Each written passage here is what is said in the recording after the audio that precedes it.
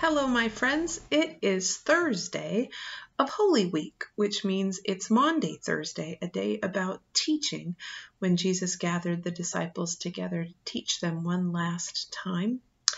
And the thing he decided to teach them was that they needed to love people and love and love and love and love some more, and that that's how people would know that they believed in him. And I think that's a really important lesson for all of us, particularly during these strange times of preventative distancing as we go into uh, the Easter weekend, not in the way we wanted to do it, certainly not in the way I wanted to do it. Uh, but here we are. And so I am so glad to be with you in this way. And for tonight and tomorrow night, we're going to have a two part story because it's a very long, kind of strange story about a mouse and badger and some other creatures who are all having a feast together. And I thought it would be a good way to spend this Maundy Thursday, and tomorrow, Holy Friday, in stories uh, together. So, Brian Jacques,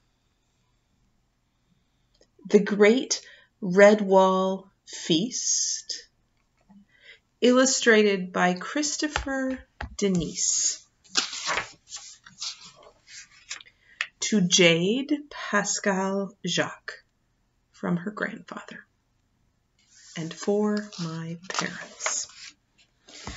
Now, as we start, it's important to know that this story is British, so some of the words might be a little strange to our American ears, so don't panic if the words are a little different. I'll tell you a story. You'll see it unfold. I can still recall it, though I'm old.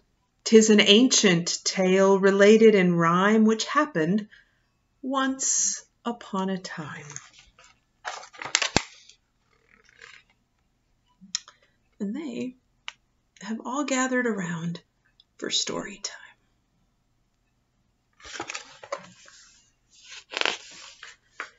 Once on a summer's day, in the golden long ago at the Abbey of Redwall, which some of you may know, lots of woodland creatures and all the Abbey mice were planning in secret a marvelous feast for their abbot. Now, wasn't that nice?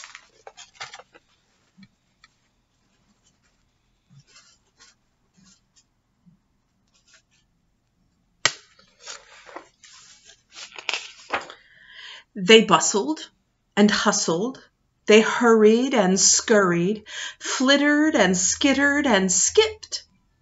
From woodland to larder, from orchard to cellar, provisions were furtively shipped. Trundling, bundling, harrying, carrying, tugging and lugging in force, whilst good Father Abbot sat taking his nap. He didn't know of the feast, of course.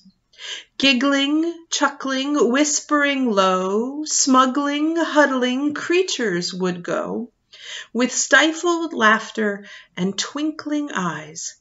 Now, wasn't there Abbot in for a surprise? There's the Abbot having a nice little sleep. And there they are, giggling and planning.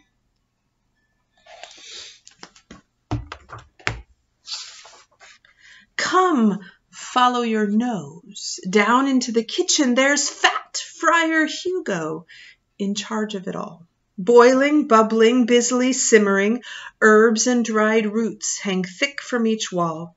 Chop up the chestnuts, add some more apples, pass me those damsons and that meadow cream. His high, squeaky voice rises up to the rafters mid lovely aromas and wispy white steam. Here's, there he is.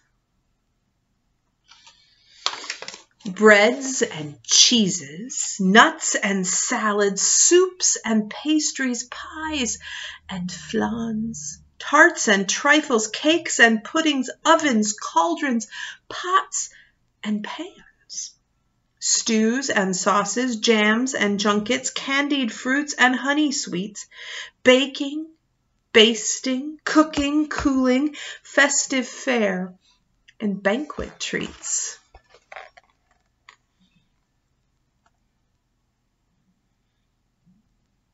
All the animals helping out.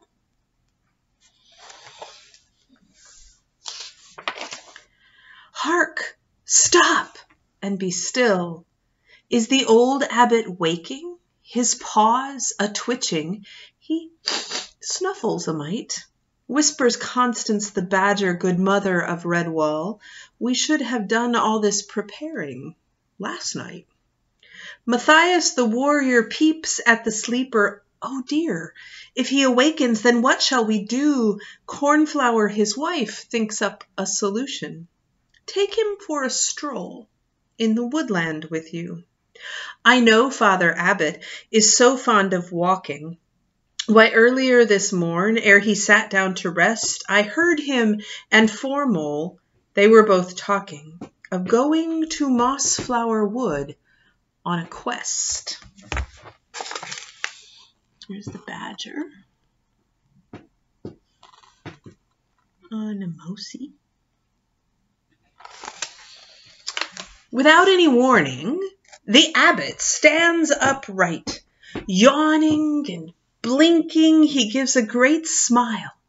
With a nod to the trio, he bids them good morning, saying, I've not been out on a stroll for a while. And listen, friends, this may sound odd. I quest for a Bobbiton weary nod. Bobbiton weary nod. That will be very important. If you'll agree to accompany me, we'll see what we shall see. A Bobbiton weary nod. There's the abbot.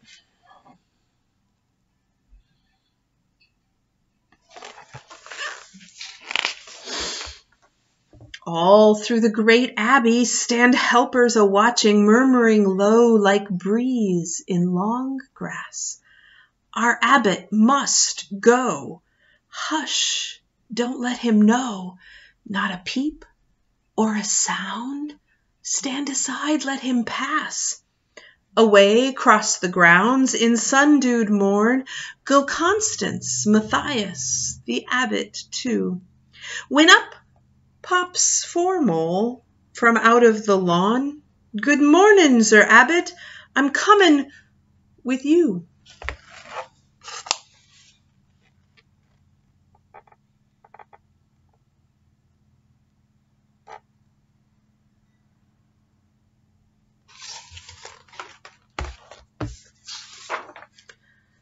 A squirrel sentry named Noisy Sam after the friends have gone, from high on the wall roars out to all, all clear back to work, everyone. Pushing and pulling, heaving and weaving, ducking and dodging, busying round, mixing and molding, kneading and pawing, lifting, shifting as tasks are found. Here, good Ambrose Spike, a stout cellar master, to his hedgehogs working like peas in a pod. Stir those quills, we'll have to toil faster. Humph! Quest for a Bobbiton weary nod. It must be his age. Seasons bless the old fellow. He'll forget that he's abbot before very long his paws are a dither, his mind has gone mellow. To work, hogs, let's strike up our song. There's Noisy Sam.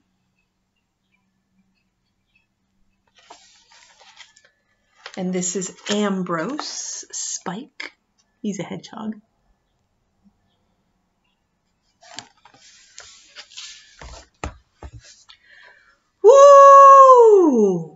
Cask and barrel, keg and firkin, autumn cider laid in stock, rosehip syrup, strawberry cordial, dandelion, and old burdock. Bang! Bang! The coppers hammer. Glug! Glug! The flagon fills. Fruit juice of every manner banishes all ills. So here are all the hedgehogs. And they've got barrels and barrels of different drinks.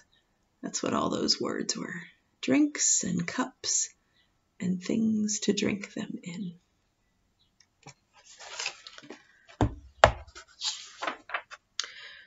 Whilst out in the kitchen, there's much consternation. Oh, hear a poor mole mother's gruff, anguished cry. Woe, my little Bungo, him only an infant, gone and falled into yon big tater pie. All around the huge basin, the moles and Friar Hugo, with long wooden paddles, they probe and they seek. As Bungo's young sister pipes up to their mother, he'll have eaten his way out of there by next week. Midst turnip and gravy, potato and beetroot, they scour and poke to the poor mole mum's cries. Whoa, can't you find nothing? A paw or a mole suit? Be they bits o' beetroot or are they his eyes? When up strolls young Bungo, the sight of the season, from tail tip to ears clad in damson and cream. Your mother, 'tis Bungo! I falled in a plum pie. 'Twere so delicious I didn't dare scream. So the mama mole, that's her, is also worried that her baby mole Bungo has fallen into the giant pot of stew. But there he is. He fell into a pie and he ate his way out of the cream pie. Yonder's the veteran, Basil, stag hare. He and cornflower pick blossoms with care, harebell and honeydew, sweet columbine, to grace the tables at banquet time. Daisy and marigold, primrose and lily, they ramble on quite willy nilly. Basil's convinced of the abbot's folly. To me, he says, a banquet sounds jolly. But a Bobbiton quest for a weary nod? What do you think? Sounds rather odd. Let's hope our abbot gets back all right, or he'll miss his very own feast tonight. Fragrant, blushing scarlet, lilac, and pale gold, laden down with flowers all their paws can hold, past the tranquil orchard, round the gable wall, a scented rainbow drifts into the abbey's hall.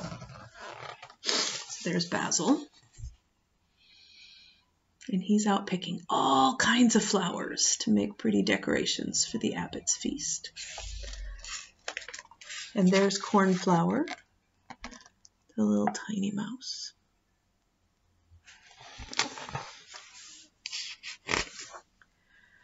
Through stained glass windows, high in the great hall, Sunlight lances dustily down, Painting islands of harlequin hues On floor stones time worn, brown.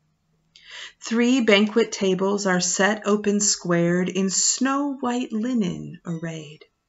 Such elegant grace, no spoon out of place, Each plate correctly laid, Enjoying the shade of a tapestried wall in the timeless, silent, ancient hall. They set down burdens, all labors cease, to savor a moment of peace. And there are the Abbey's great stained glass windows. And they come in from picking all the flowers and they see that the table is beautiful and everything is perfect. And so they put down their work for a minute to take a deep breath and enjoy it all. Then Basil's long ears shoot up like twin spears. Do you hear that? Something's crunching. Beneath the flowers strewn on the floor, there comes a sound of munching. Carefully, cautiously, Cornflower stoops, stirs the blossoms, and peeps beneath. There lies Bungo, bolting the blooms, a marigold clenched in his teeth. He plucks it out and tugs his snout politely with roguish charm. This your salad Ewan's picked tastes very nice. Thank you, ma'am. So Bungo, who fell in the pie, is now munching all of the flowers that cornflower and basil picked. And he thinks it's a salad. He's a little sassy.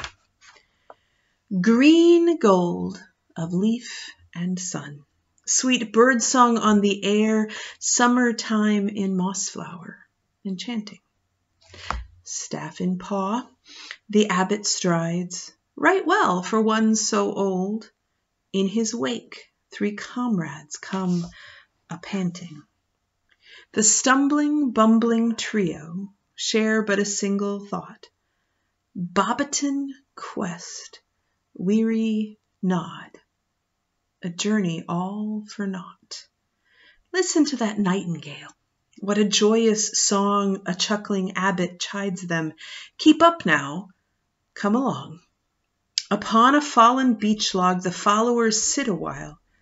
Bet you're tired and hungry, says the abbot with a smile. Nothing like a woodland stroll to whet one's appetite. You'll enjoy supper all the more when we return tonight. Oaks in quiet noontide, serene as guardians stand, Or four abbey dwellers in their forest land.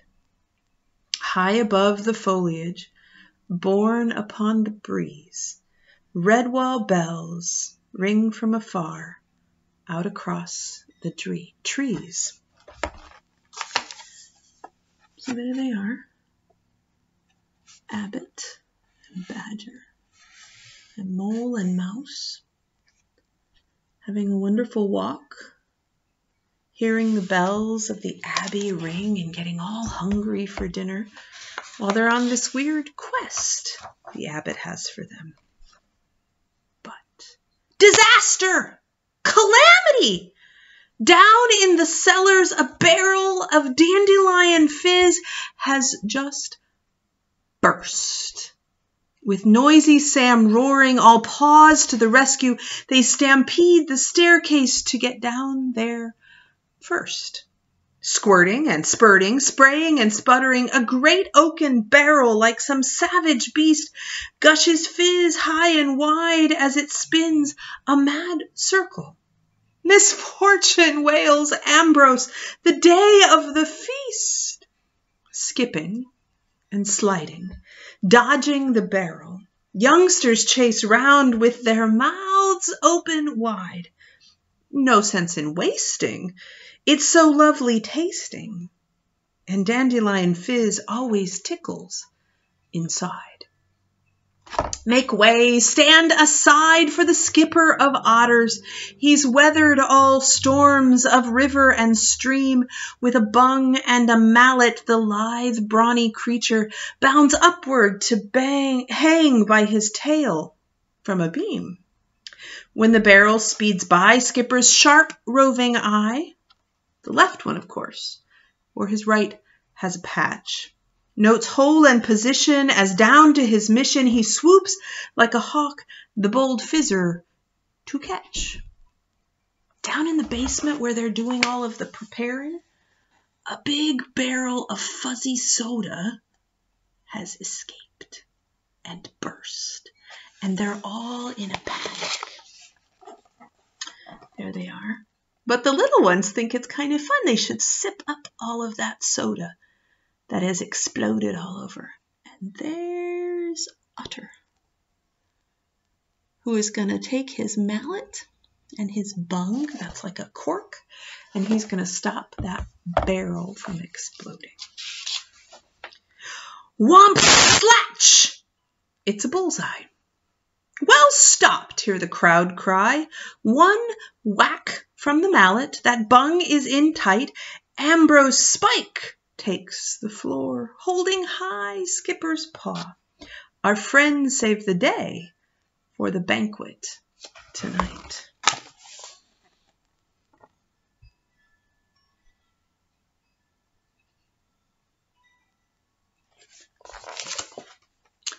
Meanwhile, in Mossflower, our abbot announces Back to the Abbey, my friends. This Bobbiton quest is halfway done. At Redwall the weary nod ends. Bewildered, but obedient, they retrace their way on the path they traveled earlier that day. Relieved, but very puzzled, Foremole gives a groan. Question Bobbiton and Naden far away from home? Matthias silently agrees. They've been led, but where? Trudging around in woodland for a thing that isn't there? When a mouse grows older, his memory often slips, but never would the abbot hear that from Matthias's lips loyalty and affection for their aged friend, trusting him far beyond any journey's end. Faithful and unfailing, hoping to be home soon, they went along together through acres of afternoon. And there's the abbot. And his friends are worried that he might be forgetting things and that this whole quest doesn't make any sense because they think they're looking for something that's not there. But they start their journey home. Oh, there's Badger and Foremole. And there's Abbot leading the way. And that, my friends, is where we're going to have to wait for tonight. That's about half the story of figuring out what's happening. While all of the creatures of the Abbey are making this fabulous feast and they're trying to make it a surprise for the abbot. And he's gone off on a quest with some friends for something they're not sure is there. So we're going to have to see what happens tomorrow. And we're going to have to wait because these are days of waiting and none of us are very good at it. But you don't have to wait to know the most important thing that I can ever, ever tell you, which is how amazing you are and how very much I love you. Bye bye.